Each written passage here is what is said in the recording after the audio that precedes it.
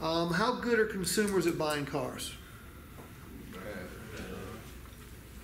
No, they're not particularly good at it. Why aren't they good at it? They're not familiar. They don't do it very often. Okay, they're not stupid. They just don't do it very often. All right, so that's how you do that. Um, value proposition, you, your value proposition is so strong, I would use it as an objection handling strategy. All right? Look, Cheryl, I appreciate you want a lower payment, lower price, whatever. However, think about this. You're getting a vehicle with a price guarantee, okay? That doesn't happen in the automobile business. You're getting a vehicle with a, an exchange opportunity. That doesn't happen in the retail automobile business.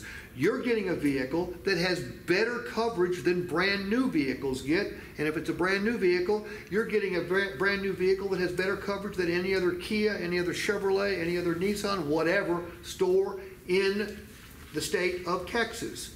The factory doesn't cover dings and dents. The factory doesn't replace key fobs. The factory doesn't fix your scraped up wheels. The factory doesn't fix scratches and uh, scratches on your paint. The factory doesn't uh, fix fabric tears. But all those things are going to be fixed for you for the next year or, you know, unlimited miles. All right? So you've got the best deal you're going to find anywhere in the state of Texas, if not the entire Southwest. I need your okay right here.